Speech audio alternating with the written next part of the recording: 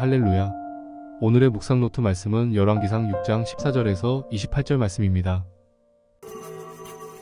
솔로몬이 성전 건축하기를 마치고 백향목 널판으로 성전의 안벽 곧 성전 마루에서 천장까지의 벽에 입히고 또 잣나무 널판으로 성전 마루를 놓고 또 성전 뒤쪽에서부터 20규빗 되는 곳에 마루에서 천장까지 백향목 널판으로 가로막아 성전의 내소 곧 지성소를 만들었으며 내소 앞에 있는 외소 곧 성소의 길이가 40규빗이며 성전 안에 입힌 백향목에는 박과 핀 꽃을 아로새겼고 모두 백향목이라 돌이 보이지 아니하며 여호와의 언약궤를 두기 위하여 성전 안에 내소를 마련하였는데 그 내소의 안은 길이가 20규빗이요 너비가 20규빗이요 높이가 20규빗이라.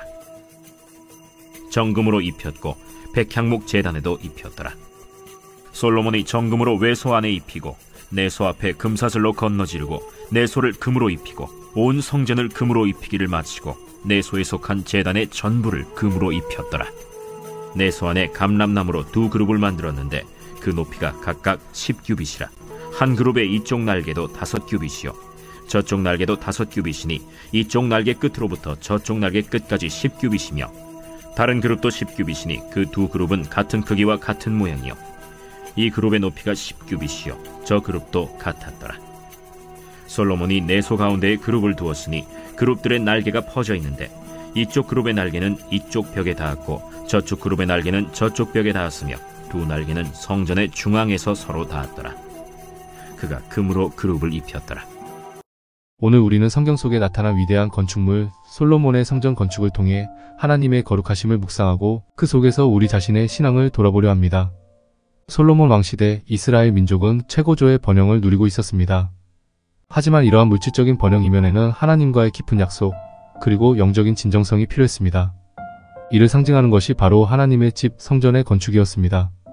이 거룩한 건축 프로젝트는 단순한 건물이 아니라 하나님과의 관계를 다지는 과정이며 신앙의 순수성을 시험하는 장이기도 했습니다. 여기서 우리는 중요한 질문을 던져봅니다. 나의 신앙은 하나님 앞에서 얼마나 순수하고 거룩한가? 이 질문에 대해 우리는 오늘 설교를 통해 같이 고민하고 답을 찾아가 보려고 합니다. 솔로몬의 성전 건축을 통해 우리는 무엇을 배울 수 있을까요? 이 건축이 단순한 왕권의 상징이 아니라 신앙의 깊이와 헌신을 드러내는 상징적인 행위였음을 어떻게 이해할 수 있을까요? 이야기를 시작하기 전에 소소한 예화 하나를 들려드리겠습니다. 어느 작은 마을에 아름다운 성당이 하나 있었습니다. 그 마을 사람들은 성당이 지어질 때마다 함께 돌을 나르고 벽을 칠하며 창문을 닦았습니다. 모두가 한마음 한뜻으로 성당 건축에 참여했죠. 이 작은 성당은 그 마을 사람들의 땀과 사랑, 그리고 무엇보다도 하나님에 대한 헌신이 깃든 곳이 되었습니다. 이처럼 우리 각자의 신앙생활도 하나님 앞에 건축하는 성전과 같습니다. 우리 각자가 얼마나 많은 노력과 정성을 들이는가에 따라 그 성전의 아름다움과 견고함이 달라질 것입니다. 그러므로 오늘 우리의 모임이 단순한 예배가 아니라 각자의 신앙을 돌아보고 하나님 앞에서 우리 각자가 어떻게 살아가고 있는지를 진지하게 성찰하는 시간이 되기를 기원합니다. 솔로몬의 성전 건축을 통해 우리 모두에게 주어진 도전과 은혜를 함께 나누며 이 시간을 시작해 보겠습니다. 친애하는 형제자매 여러분, 이제 성경 속으로 깊이 들어가 솔로몬의 성전 건축에 사용된 재료들과 그 의미 그리고 건축 과정에서 드러난 신앙의 메시지를 함께 살펴보겠습니다.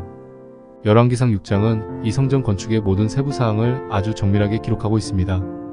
이를 통해 우리는 솔로몬이 어떻게 하나님의 지시를 받들어 이 건축을 완성했는지 그리고 그 속에 담긴 영적 의미는 무엇인지를 배울 수 있습니다. 성전 건축에 사용된 주요 재료는 백향목, 정금, 그리고 돌입니다. 15절에서는 내부 벽을 백향목으로 덮었다고 기록되어 있으며 21절에서는 내소, 즉 지성소가 정금으로 뒤덮여 있었다고 말합니다. 이 백향목은 그 자체로 내구성이 뛰어나고 향기로움을 가지고 있어 성전의 거룩함과 순결함을 상징합니다. 또한 정금은 변하지 않는 가치와 순수성을 상징하며 하나님의 영원한 거룩함과 왕권을 나타냅니다. 성전의 내소는 하나님의 언약궤를 두는 가장 거룩한 곳이었습니다. 이곳은 하나님과 가장 가까운 공간으로 하나님의 임재가 구체적으로 느껴지는 장소였습니다. 그렇기 때문에 솔로몬은 이곳을 특별히 정금으로 치장하여 하나님께 최상의 경배와 헌신을 드리고자 했습니다. 성전의 문과 벽에는 종려나무와 열린 꽃이 새겨져 있었습니다. 29, 31, 33, 35절 이 문양들은 생명과 번영을 상징하며 이스라엘 민족이 하나님과의 관계 속에서 참된 생명을 얻고 번성하길 바라는 솔로몬의 기도가 반영된 것입니다. 종려나무는 승리와 평화를, 꽃은 하나님의 창조력과 아름다움을 상징합니다. 이렇게 성전 곳곳에 새겨진 문양들은 미적인 아름다움을 넘어서 신앙의 깊은 의미를 전달하는 신성한 상징으로 기능합니다. 마지막으로 성전 건축은 솔로몬의 제위 기간 동안 7년이라는 시간 동안 이루어졌습니다. 1. 38절. 이 기간은 단순히 건축 기술적인 면에서만이 아니라 영적으로도 중요한 시간이었습니다. 7년 동안의 건축 기간은 하나님의 완성과 안식을 상징하는 숫자와 연결되며 이 기간 동안 이스라엘 민족과 솔로몬 자신의 신앙이 하나님의 뜻 안에서 얼마나 깊어지고 성숙해졌는지를 반영합니다. 형제자매 여러분 우리가 앞서 살펴본 성전 건축의 세부 사항에서는 하나님의 거룩함과 영광이 세심하게 표현되어 있습니다. 이제 우리는 이 건축의 영적 의미를 더 깊이 연구하고 묵상해 보려 합니다. 특히 우리의 관심을 끄는 것은 내소에 귀한 정금을 입힌 까닭과 솔로몬이 왕권을 확립하는 중차대한 시기에 왜 이렇게 많은 시간과 자원을 성전 건축에 할애했는지에 대한 이유입니다. 우선 내소 전체에 귀한 정금을 사용한 이유에 대해 생각해 보겠습니다. 정금은 변함없는 가치와 순결, 그리고 영원한 품격을 상징합니다. 하나님의 거룩함과 완전함을 나타내는 정금을 사용함으로써 솔로몬은 하나님께 최고의 예배와 경배를 드리려 했습니다. 이 내소는 물리적으로 하나님의 임재가 가장 깊이 느껴지는 곳이며 이곳을 가장 값진 재료로 장식하는 것은 하나님께 대한 절대적인 존경과 사랑의 표현입니다. 이러한 사실을 묵상할 때 우리는 우리 자신의 삶에서 어떤 영역을 하나님께 가장 귀하게 바치고 있는지 되물어볼 필요가 있습니다. 나의 시간, 재능, 자원 중에서 하나님께 가장 소중하게 드리는 것은 무엇인가요? 우리의 신앙생활에서 정금 같은 헌신을 하고 있는지 스스로 점검해 보는 시간을 가져야 합니다. 다음으로 솔로몬이 통치 초기에 7년이라는 긴 시간 동안 성전 건축에 매진한 이유를 살펴봅시다. 이 기간 동안 솔로몬은 많은 정치적, 경제적 압력을 겪었을 것입니다. 그럼에도 불구하고 그는 성전 건축을 최우선적인 과제로 삼았습니다. 이는 솔로몬이 자신의 왕권을 확립하고 물리적으로나 영적으로 이스라엘을 통합하고자 하는 깊은 열망의 표현이었습니다. 하지만 이보다 더 중요한 것은 솔로몬이 하나님의 뜻을 이행하고자 하는 그의 신앙적 결단이었습니다. 이 건축을 통해 솔로몬은 하나님의 주권과 이스라엘 민족에 대한 하나님의 약속을 모든 이에게 천명했습니다. 우리는 이로부터 어떤 교훈을 얻을 수 있을까요? 때로는 우리의 신앙생활에서 하나님을 우선순위에 두는 것이 많은 희생을 요구합니다. 우리의 편안함 시간, 자원을 들여야 할 때가 있습니다. 그러나 이러한 헌신은 결국 우리의 신앙을 견고하게 하고 우리 삶에 하나님의 축복과 임재를 더욱 깊게 만듭니다. 이러한 연구와 묵상을 통해 우리는 하나님과의 관계에서 어떤 깊은 변화를 경험할 수 있습니다. 하나님께 대한 우리의 헌신이 단순히 외적인 행위에 그치지 않고 마음 깊은 곳에서부터 우러나오는 진정한 사랑과 경배가 되기를 소망합니다. 우리의 신앙이 내소에 사용된 정금처럼 순수하고 진실하게 유지될 수 있도록 매일매일을 하나님과의 깊은 교제와 헌신의 시간으로 채워나가야 합니다. 형제자매 여러분, 우리가 지금까지 성전 건축에 대해 살펴보면서 하나님의 거룩함과 우리에 대한 하나님의 기대가 어떤 것인지를 깊이 느꼈습니다. 이제는 우리 각자가 이러한 깨달음을 어떻게 자신의 삶에 적용할 수 있을지에 대해 성찰해보고자 합니다. 솔로몬의 성전 건축에서 우리가 본 것은 단순히 화려하고 아름다운 건물이 아니었습니다. 그것은 하나님께 대한 깊은 헌신과 영적인 목표를 향한 노력의 산물이었습니다. 솔로몬은 외적인 요소에만 집중하지 않고 성전의 내부, 즉 가장 중요한 곳에 가장 소중한 재료를 사용했습니다. 이는 우리의 신앙생활에서도 내면의 거룩함과 영적인 깊이에 더 많은 주의를 기울여야 함을 상기시킵니다. 우리는 솔로몬이 왜 성전의 내부에 더 많은 신경을 썼는지를 통해 중요한 교훈을 얻습니다. 겉모습이 아니라 내면의 아름다움을 가꾸는 것이 얼마나 중요한지를 배웁니다. 우리 각자의 삶에서도 사람들이 보지 못하는 곳에서 어떻게 행동하고 어떻게 기도하며 어떻게 하나님과 교제하는지가 우리의 신앙의 진정성을 드러냅니다. 성전 문양으로 사용된 종려나무와 꽃은 생명과 성장, 평화와 승리를 상징합니다. 이러한 문양들은 우리의 삶 속에서도 하나님께서 우리에게 주시는 생명과 평화, 그리고 영적 성장을 상기시킵니다. 이는 우리가 일상에서 겪는 어려움 속에서도 하나님의 손길을 느끼고 그분의 도우심을 경험할 수 있음을 의미합니다. 성전의 꽃 문양을 보며 우리는 생명의 근원이신 하나님에 대해 묵상합니다. 이 생명력이 우리 안에서 어떻게 표현되고 있는지, 우리의 삶에서 하나님의 생명력이 어떻게 역동적으로 작용하고 있는지를 성찰합니다. 우리는 하나님의 창조적 에너지와 사랑이 우리 각자의 삶 속에서 어떻게 새로운 것을 창조하고 있는지를 발견하게 됩니다. 이 모든 느낀 점을 통해 우리는 내적인 영적 성장과 외적인 행동 사이의 균형을 잘 맞추려 노력해야 합니다. 우리의 신앙이 겉으로 드러나는 행위뿐만 아니라 하나님과의 깊은 관계에서 우러나오는 진실된 헌신이 되어야 합니다. 이것이 바로 우리가 솔로몬의 성전 건축에서 배울 수 있는 가장 깊은 교훈입니다. 그러므로 형제자매 여러분, 오늘 이 자리를 통해 우리 각자가 자신의 내면을 돌아보고 하나님의 거룩함을 자신의 삶 속에 구현하기 위한 진정한 노력을 시작해 보시기 바랍니다. 하나님의 성전으로서 우리의 삶이 얼마나 아름답고 거룩하게 가꿔질 수 있을지 함께 고민하고 그 길을 걸어가 봅시다. 형제자매 여러분, 오늘 우리가 함께 묵상한 솔로몬의 성전 건축을 통해 우리는 하나님의 거룩함을 실천하는 방법에 대해 많은 것을 배웠습니다. 이제 우리 각자가 이러한 깨달음을 실제 삶에 어떻게 적용할 수 있을지에 대한 결단과 적용의 시간을 갖고자 합니다.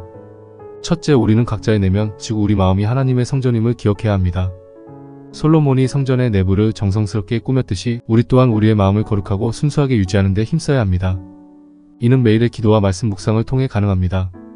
우리 마음의 지성소에 하나님의 말씀을 새기고 그 말씀이 우리 삶을 인도하게 하십시다. 해시태그 해시태그 둘째 하나님과의 교제를 일상에서 우선시하는 습관을 들입시다. 마치 우리가 매일의 식사를 거르지 않는 것처럼 하나님과의 교제 시간도 정기적으로 가지는 것이 중요합니다. 이 시간을 통해 우리는 하나님의 음성을 듣고 그분의 뜻을 우리 삶에 적용할 수 있습니다. 하나님과의 친밀한 관계는 우리의 영적 건강을 위해 필수적입니다. 해시태그 해시태그 해시태그 셋째, 우리가 가진 것을 나누는 행위로 하나님의 사랑을 실천합시다. 솔로몬이 성전 건축에 많은 자원을 투자했듯이 우리 또한 우리가 가진 시간, 재능, 재원을 이웃과 나눔으로써 하나님의 사랑을 구체적으로 드러낼 수 있습니다. 작은 행동이라도 꾸준히 이루어진다면 우리는 우리 주변에 하나님의 나라를 실현하는 데 기여할 수 있습니다. 해시태그 해시태그 해시태그 마지막으로 우리의 신앙이 솔로몬의 성전처럼 아름답게 성장하기를 원한다면 지속적인 헌신이 필요합니다. 이는 매 순간 하나님께 최선을 다하는 삶을 의미합니다. 하나님께서는 우리가 모든 상황에서 하나님의 거룩함을 추구하며 살기를 원하십니다. 이를 위해 우리는 매일 하나님께 헌신하며 살아가야 합니다. 형제자매 여러분, 우리가 오늘 결단한 바를 실천으로 옮기기 위해 각자의 삶에서 구체적인 실천 계획을 세웁시다. 하나님의 거룩함을 우리 삶에서 반영하는 것은 단순히 일회성의 결단에 그치지 않고 지속적인 노력과 헌신을 요구합니다. 우리가 이 길을 걸을 때 진정으로 하나님의 성전으로서의 삶을 살 수 있을 것입니다. 이제 이 결단들을 실천으로 옮기며 하나님의 사랑과 거룩함이 우리 삶 속에서 더욱 빛나기를 소망합니다. 함께 기도하시겠습니다. 사랑하는 하나님, 오늘 우리는 솔로몬이 주께서 주신 지혜로 성전을 건축한 것을 통해 많은 것을 배웠습니다. 우리의 마음과 영혼을 당신의 거룩한 성전으로 만들어 주시길 기도드립니다. 우리 각자가 내면의 지성소를 꾸미고 가꾸는 일에 최선을 다하게 하소서. 주님, 우리가 매일의 삶 속에서 당신과의 깊은 교제를 소홀히 하지 않도록 도와주시기를 원합니다. 당신의 말씀과 기도를 통해 우리의 영혼이 양식을 얻고 당신의 음성을 더욱 분명히 듣게 하소서. 이것이 우리가 당신과 더욱 친밀하게 거할 수 있는 길임을 믿습니다. 하나님, 우리가 가진 재능과 자원을 이웃과 나누며 당신의 사랑을 실천하게 하소서. 우리의 작은 행동이지만 이것이 모여 주변에 하나님의 나라를 만들어 갈 수 있음을 믿습니다. 우리의 삶 속에서 당신의 거룩함과 사랑이 드러나도록 우리의 마음을 인도하소서. 주님, 우리가 매 순간 최선을 다하여 하나님의 거룩함을 추구하며 살아가도록 힘을 주시고 우리가 지치거나 좌절할 때마다 당신의 영이 우리를 강화하고 위로해 주시길 기도드립니다. 우리의 삶이 하나님의 성전처럼 아름답게 꾸며지고 당신의 임재가 늘 우리와 함께하기를 소망합니다. 하나님, 이 모든 기도가 당신의 뜻에 합당하게 이루어지도록 우리의 마음과 행동을 주관하소서. 우리가 이 땅에서 당신의 사랑과 거룩함을 빛내며 살아갈 수 있도록 우리를 사용해 주시길 간구드립니다. 우리의 모든 결단과 노력이 당신께 영광 돌리는 삶이 되도록 인도해 주소서. 이 모든 기도를 우리 구주 예수 그리스도의 이름으로 기도드립니다. 아멘.